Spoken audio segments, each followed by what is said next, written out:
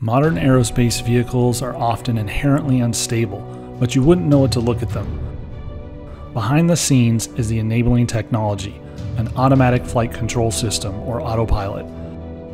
Flight control allows aircraft to exploit instability for rapid turns while operating over a wider set of flight conditions and reducing pilot workload.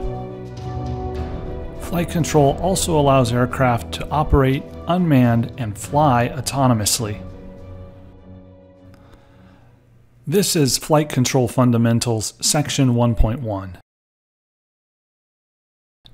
Here you will learn what a flight control system is, how the first flight control system was invented, its basic components, how flight control led to the first cruise missile, and how fly by wire opened a new chapter in flight control technology. Many early aircraft were designed to be inherently stable but with stability comes less ability to correct course and maintain flight in gusty environments. The Wright brothers took a different approach, design an aircraft to be unstable but controllable. It was this controllability that would be key to allow the pilot to compensate for the unsteady atmosphere that had plagued previous flight attempts. But as maneuverability increased, so did the workload on the pilot. Pilots were also susceptible to the death spiral or the graveyard spiral. Before we talk about this, let's first cover attitude. Attitude is the orientation of the aircraft with respect to the Earth. It's described by the roll angle, the pitch angle, and the yaw angle. The death spiral or spiral dive is dangerous because it develops from steady level flight without the pilot sensing it. The spiraling action that develops is a fundamental characteristic of flight called the spiral mode. The mode occurs with a slow change in roll angle and yaw.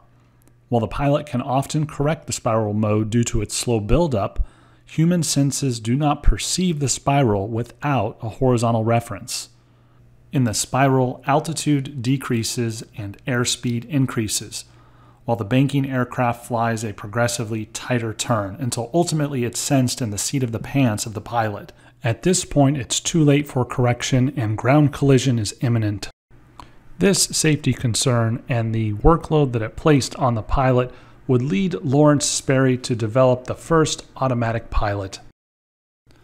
Lawrence Sperry was the third son of the famed inventor and entrepreneur Elmer Sperry, father of modern navigation technology.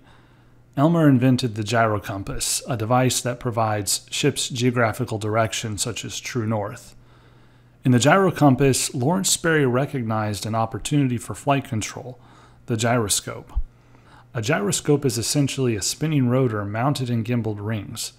It operates on the principle that a body, here the rotor, resists rotation about its spin axis. Therefore, the spinning rotor tends to maintain its attitude in space and becomes a reference for the gimbal rings.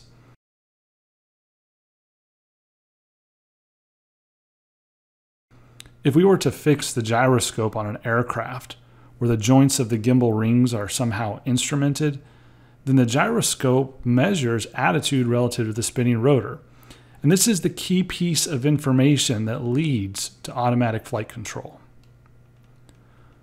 We can represent the gyroscope as a process that relates the attitude of the vehicle to the gyroscope response.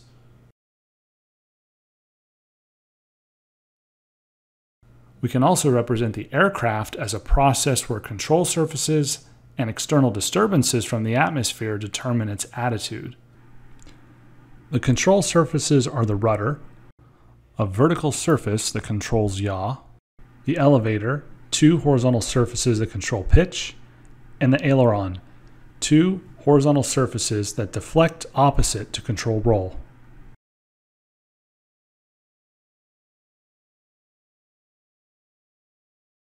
Lawrence Sperry's idea was to control aircraft attitude from the response of a gyroscope, but the gyroscope response would need translation to an appropriate control surface adjustment. In the early 20th century, the most reliable approach was mechanical, through cables, linkages, gears, pinions, and other devices, and to come up with their arrangement. Lawrence Sperry is attributed for the first invention of that mechanical device, a gyroscopic stabilizer. It provided continuous mechanical feedback to automatically adjust aircraft control surfaces and maintain a desired attitude.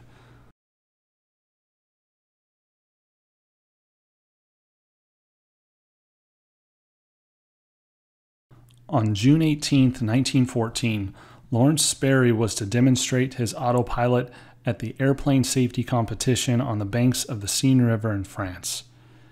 He integrated his autopilot on a Curtiss C 2 aircraft that was adapted with a hydroplane fuselage. Sperry and his newly acquired French mechanic Emil Cachin began their flight as the last entry of the day. In full view of the judges, Standing on the banks of the river as he passed, Sperry had engaged his autopilot, disconnected himself from the shoulder yoke that controlled the ailerons, and raised his hands in the air. Wings level, the aircraft continued on a straight and steady course. On the second pass, Cachin walked seven feet out on the starboard wing, causing the aircraft to briefly bank before automatically leveling itself. Again, the aircraft continued on a straight and steady course. On the third and final pass of the judges, the cockpit was empty, Cachin standing on one wing, Sperry on the other. Needless to say, the civilian and military crowd were stunned. A new chapter in aviation and automatic flight control systems had begun. Sperry was awarded $10,000, almost $300,000 today. The Sperry Company would change aviation history for seven decades. It exists today in various U.S. corporations after a series of mergers. In his patent, Mechanical Pilot for Aeroplanes, filed in April of 1916, Lawrence Sperry describes the function of a mechanical autopilot. It's comprised of a sensor and a controller. The gyroscope sensor contains a rotor with a vertical spin axis, gimbal rings, contact pads connected to the gimbal rings, and a brush on the contact pads that is fixed to the aircraft. Hence, attitude is measured through movement of the brush across the contact pads. Aircraft control is accomplished through two handles. Let's focus on the elevator. You'll notice two coupled discs to cabling. This is the so-called lost motion device. It functions as a switch between manual control, where here the connection between handle and elevator adjustment is clear, and automatic control, where the gyroscope is connected to a servo motor via cables and through appropriate gearing to the elevator. The servo motor is wind powered. It's comprised of counter rotating gear sets and clutch plates that engage to change the direction of flap motion depending on gyroscope feedback. There's even a control surface limiter that halts control action to avoid overcompensation. Note the prominent wind drive of this Sperry autopilot as implemented on this Curtiss biplane.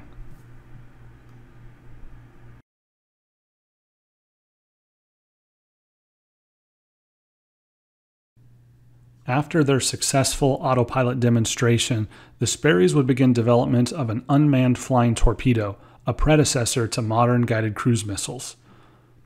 It was during World War I that the U.S. Navy showed initial interest in this technology for striking German U boats, but it was the Army that would push the technology forward, having the goal to reach enemies deep behind the front lines of trench warfare. Charles Kettering, an inventor and industrialist from Dayton, Ohio, took on the project to develop a flying bomb, codenamed Liberty Eagle. The bomb was to be expendable and couldn't cost much more than an artillery shell. It must fly in a specified direction, specified distance, and hit a specified target. It must also be assembled in the field by troops with simple tools and minimal experience.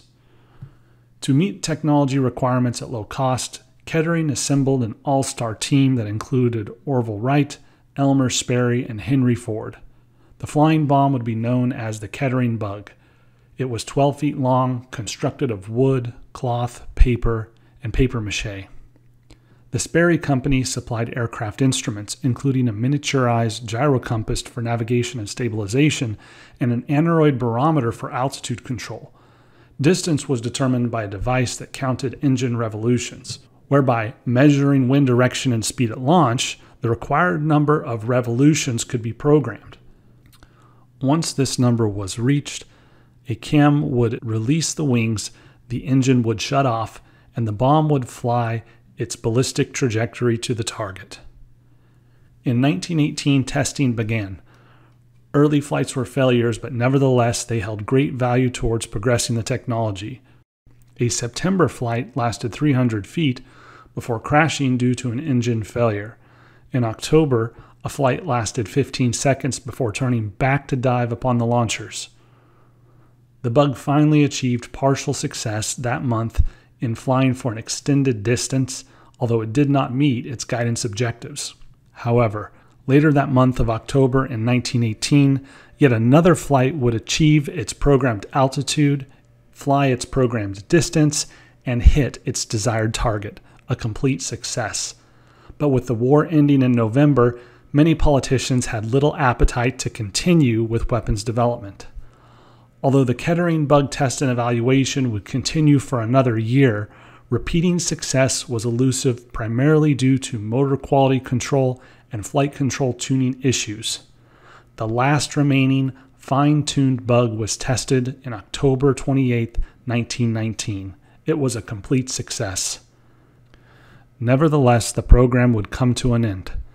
But similarities to the Kettering bug's construction would be seen in the German V 1 rocket decades later. Germany would launch 10,000 unmanned pilotless V 1 missiles against London in a 10 month period spanning 1944 and 1945. The autopilot was a critical technology that allowed this flying bomb to maintain its course. The V 1 was 27 feet long with a wingspan of 18 feet. It cruised at 360 miles per hour with an Argus pulse jet engine. This gave the weapon its characteristic buzzing sound and led to it being called the Buzz Bomb. Total range was approximately 150 miles while carrying a 2,000 pound warhead. The V1 navigated with heading measurements via magnetic compass in the nose cone. The autopilot controlled altitude, airspeed, and attitude. It was powered through two spherical tanks that contained compressed air at 900 psi. Both the gyroscopes and control surfaces were actuated with the compressed air. The control architecture was cleverly constructed so that all three axes of flight were actually controlled through just the elevators and rudder. An odometer preset before flight and driven by a vane anemometer, a small propeller at the nose tip, counted down the distance to the target. Every 30 rotations of the anemometer propeller counted down one on the odometer. When the countdown reached zero, the V 1 turned into a steep dive. This starved the engine of fuel, causing it to shut off. To Londoners, this was heard as its characteristic buzzing sound upon approach, followed by what must have been a terrifying period of silence before explosion.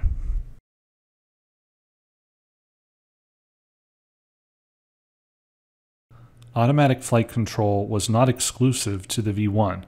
This electrical fitter is making adjustments to George, a common name for the automatic pilot at the time on a Halifax bomber.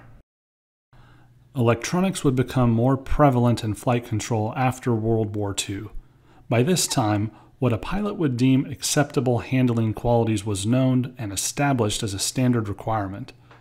But as jet engine technology pushed aircraft into wider ranges of speed and altitude, establishing consistent handling qualities became a challenge with mechanical control systems. Mechanical flight control design over the increasing operational envelope through pulleys, levers, gears, and other mechanical subcomponents would lead to a heavy flight control system that took up significant space. The solution was to replace the predominantly mechanical flight control system with an electric one. This led to the so called fly by wire flight control system. To understand fly by wire, let's first look at the general architecture of the control system for a piloted aircraft. Starting with the pilot who attempts to change the state of the aircraft through the manual controls, such as a stick. The output of the stick is a command to change aircraft state, such as attitude or acceleration. That is input to the flight controller or autopilot. The flight controller produces the appropriate control surface adjustment command, that is input, to the control actuation system. The control actuation system adjusts the control surfaces according to the flight control command, thereby changing the state of the aircraft. The aircraft response is fed back through two channels. In the inner loop, a sensor, such as a gyroscope, feeds back the aircraft response data to the flight controller. This loop is known as the stability augmentation system. The outer loop is the aircraft response as perceived by the pilot. Note that the stability augmentation system will strongly play a role in the perception of the handling qualities of the aircraft. Where in the general control architecture does fly by wire occur? The answer is between the cockpit control and the control actuation system. To fully fly by wire is to make the process between the output of the cockpit controls and the input to the control actuation system fully electronic. That is, electric signals are passed through wires relaying the aircraft state command to the flight controller. The flight controller is an electronic circuit, potentially a computer, that transforms the electronic aircraft state command into an electronic control surface command. Finally, the control surface command is transmitted as an electronic signal by wire to the control actuation system. Sperry's gyroscopic pilot was almost purely mechanical, but actually some electronics were involved. For example, recall that an aircraft referenced brush moved across contact pads fixed to the gyro gimbal rings. The resulting electric signal was used to adjust a clutch plate that automatically changed control surface direction in the flight controller as needed the control surface adjustment was transmitted through tension cables to the control surfaces. Two decades after Sperry's autopilot invention, a portion of the fly by wire process would be incorporated in the Tupolev AN-T 20, a massive Soviet six engine aircraft that was 112 feet long with a wingspan of 206 feet. In this aircraft, long runs of mechanical linkages or hydraulic lines that would be necessary to transmit control surface commands from the flight controller were instead replaced with wires and electric servo motors. The first non experimental debut of full fly by wire was in 1957 on the Avro Canada CF 105 Arrow. The CF 105 was to serve the Royal Canadian Air Force into the 1960s and beyond. Powered by Pratt & Whitney J75 turbo engines, the Delta Wing Interceptor's flight envelope included speeds up to Mach 2 and altitudes up to 50,000 feet. Its wide set of operating conditions made fly by wire an attractive approach to flight control. The CF105 incorporated pressure sensitive transducers in the stick that sent electronic commands to the hydraulic control actuation system. As control surface loads varied according to aircraft speed and altitude, a separate control system was devised based on CAS back pressure to give the stick appropriate feel. This was the first artificial feel feedback loop for the pilot. The stability augmentation system provided artificial damping of the aircraft modes through inertial measurement unit feedback. The pilot was generally unaware of the stability augmentation operating behind the scenes, but this would contribute to the excellent reported handling qualities of the aircraft. Fly by wire flight control relied on analog processing up until the Apollo lunar lander program in the 1960s, which implemented a digital fly by wire control system. NASA recognized the implications of digital fly by wire to commercial aerospace technology. They first demonstrated the feasibility of digital fly by wire on a modified Vought F 8 Crusader. The use of a digital computer for fly by wire offered many new valuable opportunities, including the ability to efficiently incorporate redundancies for automatic autopilot reconfiguration during in flight system failures. Also, the ability to employ advanced control methods through digital implementation that would otherwise be impractical on analog circuits. And finally, overall reduced cost, weight, and volume allowed by the digital fly by wire flight control system. In the first phase of the effort, NASA utilized the digital hardware and software of the Apollo lunar landing vehicle a system that still had a highly trained support team and a 70,000 hour mean time before failure record. Between 1972 and 73, a total of 58 hours of Phase 1 flight time would be completed. Most of this time, the pilot operated the aircraft using the digital fly by wire system, while 14 hours were testing of the redundant backup system. Here we can see the digital controller, where electronic stick commands are input through a digital computer to produce electronic control actuation commands. This architecture shows the digital fly-by-wire system for Phase 1, where the overarching goal was to show feasibility and develop confidence in the approach. The architecture was comprised of a primary system, a backup system designed by the Sperry Flight Controls Division, the center stick was the main means of control for both the primary and backup systems. When the stick was disconnected from the mechanical cables for fly by wire, it resulted in undesirable looseness.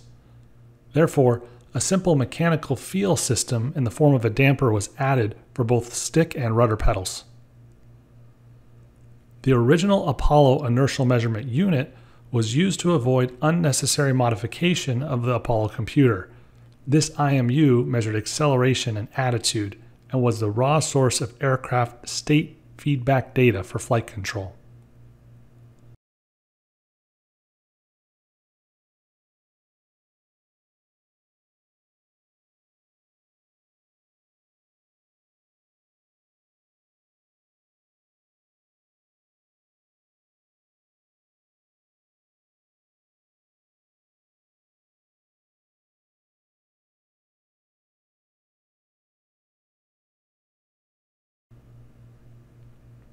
Both the stick output and IMU data are input to the Apollo digital computer.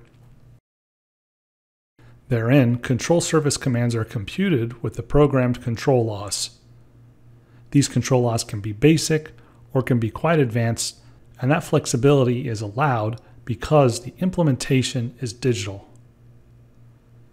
The 1960s Apollo computer could perform the control law calculations in 30 milliseconds, while this was slow even for the 1970s, it was still much faster than human processing and allowed NASA to efficiently achieve the digital fly by wire feasibility assessment.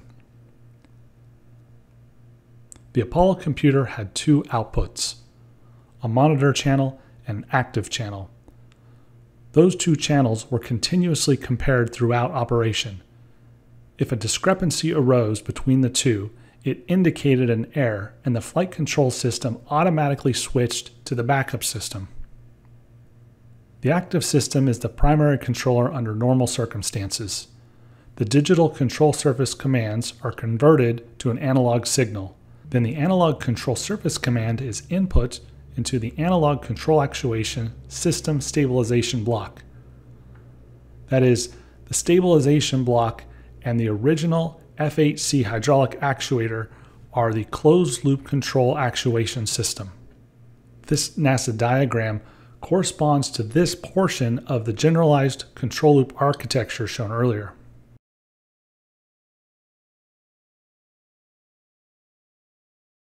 The NASA digital fly-by-wire effort successfully laid the groundwork for digital fly-by-wire technology transition in two phases spanning 1971 to 1977. Today, digital fly-by-wire is the standard on modern commercial aircraft, and it remains highly relevant to aerospace system technologies in general, as it allows the implementation of advanced flight control architectures. This is Flight Control Fundamentals, Section 1.1.